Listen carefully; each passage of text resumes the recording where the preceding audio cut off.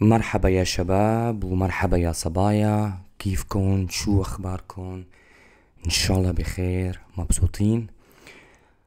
معكن خالد نصرة مرة تانية مع قصة جديدة وفكرة جديدة.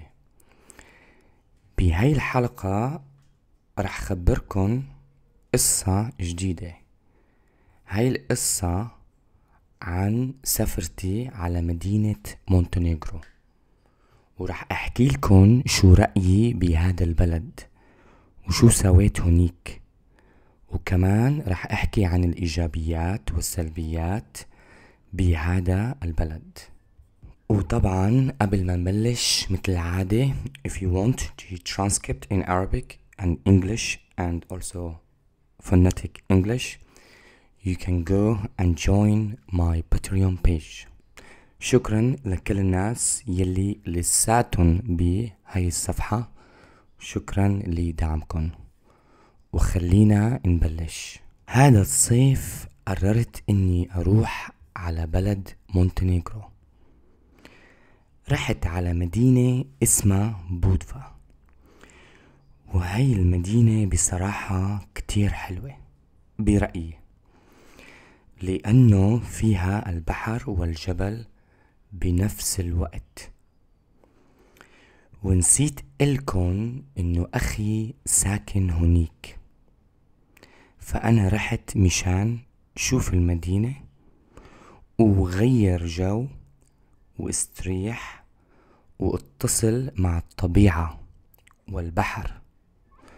وكمان أقضي وقت مع أخي.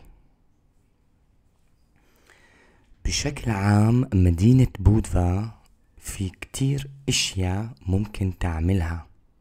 يعني ممكن تتسلق الجبال أو تتشمس على البحر وتتمشى بالمدينة القديمة.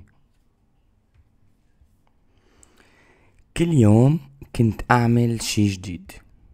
مرة كنت روح على الجبل. وأعمل تسلق وأتأمل بالطبيعة. ومرة كنت روح على البحر وأسبح وأتشمس وأحيانا بالمساء كنت أمشي بالمدينة القديمة مشان المدينة القديمة فيها جو كتير حلو. و بتذكرني بالمدينة القديمة بدمشق. الشي الممتع بمدينة بودفا إنه فيها كتير أشخاص من مختلف أنحاء العالم. خاصة الروسيين في كتير روسيين وهذا كان مفيد بصراحة. مشان مثل ما بتعرفوا أنا بحكي اللغة الروسية فكان عندي الفرصة مشان أحكي الروسي بمدينة بودفا. الشي السلبي الوحيد يلي ما حبيته ببودفا هو إنه بشهر آب أوغست في كتير ناس وعجقة فإذا بدكن تجوا تعالوا بشهر تموز أو أيلول. ضليت تقريبا أسبوعين بمدينة بودفا. والله كانت تجربة كتير حلوة مشان كان عندي الوقت ليركز على حالي وفكر واتأمل. وكمان البحر خلاني أكتر مرتاح مشان أنا ما بحب حياة التكنولوجيا والنوتيفيكيشن مؤخرا بلشت أحب الجو الطبيعي. رحلتي على بودفا أعطتني الفرصة إنه أتصل مع حالي ونفسي وأفكر بشو أنا عن جد بدي بالحياة. نحن عايشين بوقت وين في كتير تكنولوجيا وتشويش من الأخبار. وتيك توك وإنستغرام يلي بتعطينا أفكار يلي معظمهم مش أفكارنا.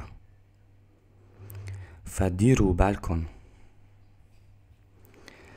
مشان هيك كتير مهم إنه انتو يكون عندكن وقت لحالكن بدون تليفون بدون كمبيوتر. وأخبار سلبية وتقضوا وقت مع الطبيعة والأشجار والبحار والجبال. حتى تساعدكن تفهموا حالكن ونفسكن وتفهموا شو بدكن بالحياة. ممتاز شباب هاي القصة لليوم. This story is a bit uh, over the A2 so I would call it like B1 it might be challenging for those who are at the beginner stage but I think it's good because you are listening to Arabic and you are recognizing some new words and learning as well you know new phrases. And for those who are in B1 it will be perfect for them.